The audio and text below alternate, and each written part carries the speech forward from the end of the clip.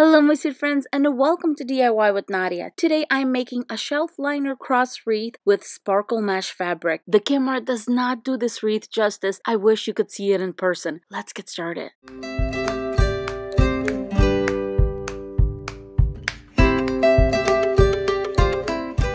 This shelf liner, I'm going to be using a minimum of six of these shelf liners. Usually it takes six for a round wreath, but because this is a cross wreath, it's going to probably take me a little bit more. I'm thinking about seven rolls, but I'll let you know in the description box. We are also going to be using a fabric. Now here you can see the fabric because it's layered but if you take it apart it looks like mesh it looks like very very thin mesh so it's going to just give it a little bit of a shimmer. It's not really going to stand out or be too pink. It's going to give this wreath a very elegant look. And of course the cross wreath is from the Dollar Tree.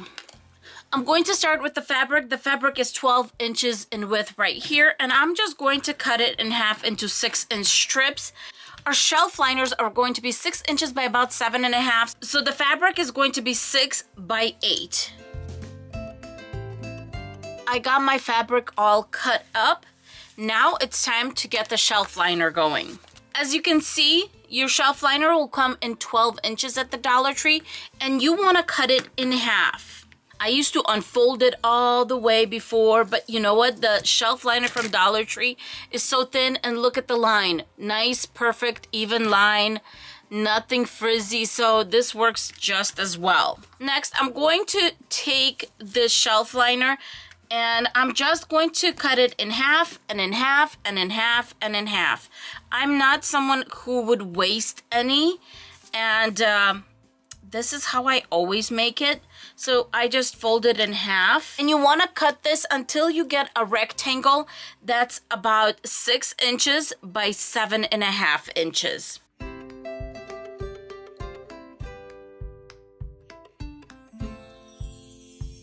And then here you go, you have six inches by seven and a half, almost eight inches. And that is how quick we are done with our first roll.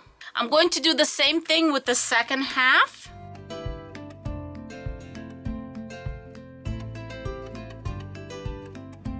And that's it. This roll is done. I'm going to continue cutting the rest of the shelf liners and I will be right back.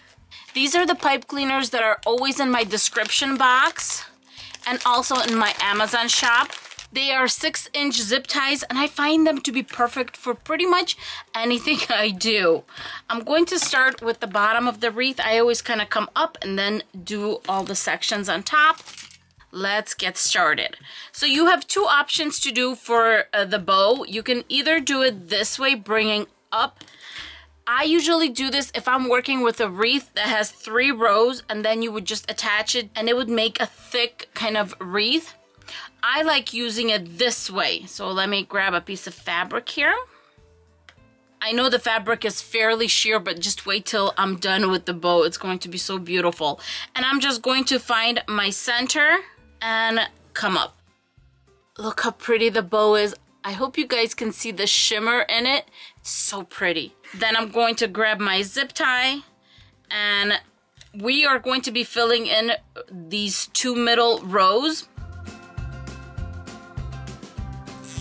I zip tie it almost to the end, but not quite. I do want to make sure that everything is centered. And that's when I'm going to just bring it together on top, just like this, and then zip tie it in place.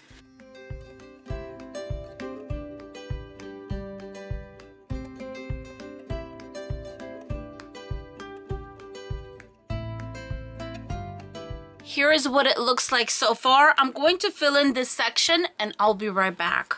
There you go. I am done with the first section. I have 14 here and now I'm just going to go around cutting off all the tails from the zip ties here. And there you go. I think I have room to add another pair right here. This looks pretty filled to me, so I'm going to move on to the next section and keep on going. The wreath is all done and I am absolutely loving it with this fabric. I'm sure the camera doesn't show how it is in person, Um, but I will add the fabric in the description box that I got at Joann Fabrics. Now, one thing I want to show you is because you're going in two rows here, if you have holes like this, all you have to do is just crisscross them and you should not have much issues with it because this is supposed to be a liner. It's supposed to catch onto each other. And look at that. I did that a few seconds ago and it's fine. There's no holes here. And I just would sporadically just go throughout like that and uh, just grab one end, bring it to this side, the other one, bring it to that side, smooth it over, and there you go. And now let's do the embellishment. For the center of the cross, I'm going to be making a bow starting with this beautiful rose ribbon that I got at Craft Outlet. I'm going to make a long tail. I'm making it 14 inches. And then here I'm going to start twisting. This is a one-sided ribbon, so you do want to twist. I'm going to make this loop five inches, bring it to this side, and then I'm going to twist, take it to five inches here. If you want, you can definitely do it by hand, but I love using the bow maker. You can find these bow makers for 10 to $12 on Amazon. They're not expensive and they are a huge help when you're making these bows. And as I'm completing my loop, I'm going to do a twist here. This next ribbon I got from Michaels during their after Christmas sale. And here I'm going to do the same thing. Twist right away because this is a one-sided ribbon. I'm going to continue making 5 inch loops with this ribbon also. And twist.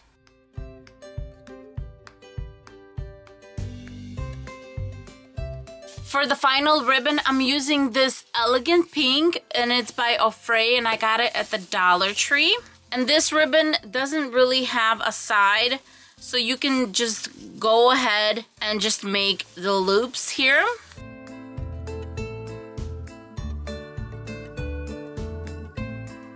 To bring this bow together, I'm sneaking a zip tie in. And because this is a fairly thick bow right here. I'm just going to zip tie it in place. Now I'm going to start opening my bow up.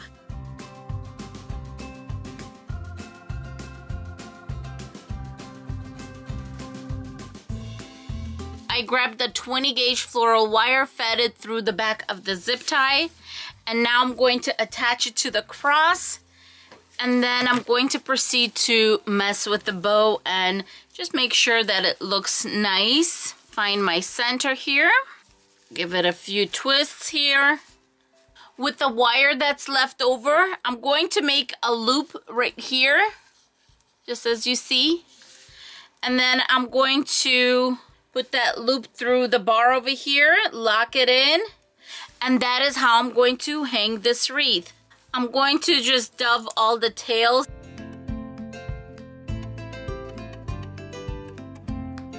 At this point, you could be done with the wreath. I, of course, you know me, I have to ribbon tail them, fold in half, pinch, and bring back. Fold in half, pinch, and bring back.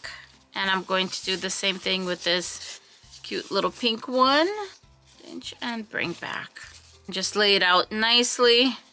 I have to mention this pink ribbon that I'm using from the Dollar Tree. It's the first time I'm using it. And I have to say that wire is so super thin. I just, I don't know, it's a little bit too thin almost.